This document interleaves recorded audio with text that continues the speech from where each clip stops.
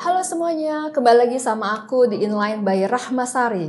Ya teman-teman, kali ini aku mau mereview tas keluaran brand dari Paris yaitu Longchamp.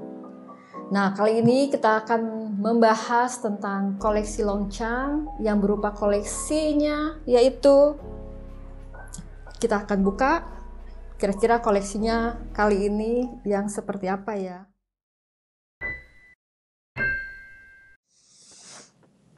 Tada! Loncam Rosu Double Jobek. Nah, Loncam ini mengeluarkan model yaitu uh, reversible bag di mana dalam satu tas ini terdapat dengan dua model. Jadi dalam dua model itu maksudnya bahwa dia bisa dibolak-balik dengan uh, motif yang berbeda. Jadi ini adalah motif yang pertama. Nah, terus di bagian dalamnya itu adalah motif yang keduanya. Tas Rosso Double Joe ini merupakan tambahan koleksi dari uh, tas Rosso sebelumnya. Di mana tas Rosso sebelumnya itu dia bahannya uh, berbahan full leather. Sedangkan kalau yang Rosso Double Joe sekarang ini dia bahannya berbeda, yaitu bahannya uh, campuran dari uh, kulit dan beludru. Sekarang kita akan ngebahas mengenai dari desain tas longcam ini. Nah, kita lihat penampakan dari bagian depannya ini, dia ada gambar icon uh, longcamnya ya, yaitu uh, kuda. Bahan yang dari depan ini itu dia bahannya kulit dan warnanya hitam. Dan satu lagi yaitu penutup dari kancing yang di depan ini dia terinspirasi dari bambu. Lalu tas ini juga dia berukurannya e, berukurannya lumayan luas. Di bagian sisi kiri dan sisi kanannya ini dia kan ada kancingnya ya. Nah, kancingnya itu kita bisa lepaskan. Nah, yang saya suka itu jadi kita bisa membuat tas ini terlihat langsing, mengecil atau dia terlihat meluas gitu. Kalau kita ingin uh, dia kelihatannya langsing, penampakannya nih seperti ini. Jadi kita mengancingkan di bagian sisi kiri dan sisi kanan yang sudah yang sudah memang ada.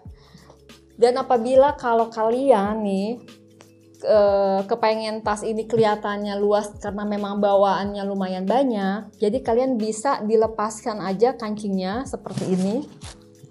Hmm.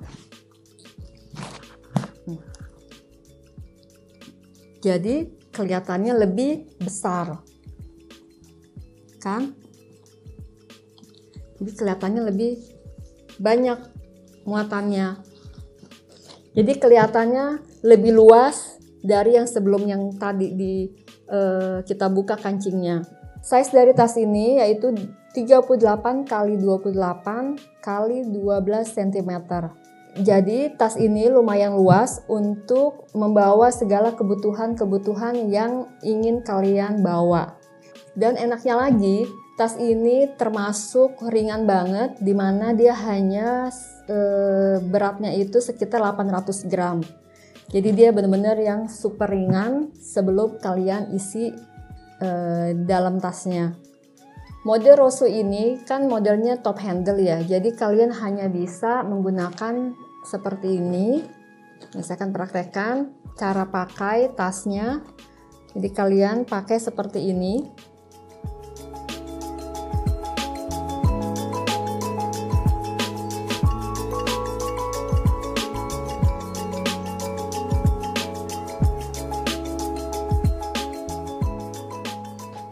Lalu tas ini juga dia tidak dilengkapi oleh resleting. Jadi kalau untuk kalian mencari keamanan dari segi tas, mungkin ini agak kurang dari keamanannya karena dia tidak tertutup kan. Tapi kalau misalnya kalian ngerasa bahwa di daerah kalian atau di negara atau di kota kalian itu cukup aman, di mana tidak ada pencopet atau maling, ya kalian bisa aja silakan aja untuk make gitu. Trousseau bag ini merupakan combining dari simple dan stylish. Jadi kalian bisa pakai untuk sehari-hari atau formal juga bisa dan bisa juga untuk kalian yang ke kantor. Ya, sekian dulu review aku hari ini. Nanti kita akan kembali lagi dengan review-review aku yang berikutnya. Ya, sampai ketemu lagi di video-video aku berikutnya. Bye-bye!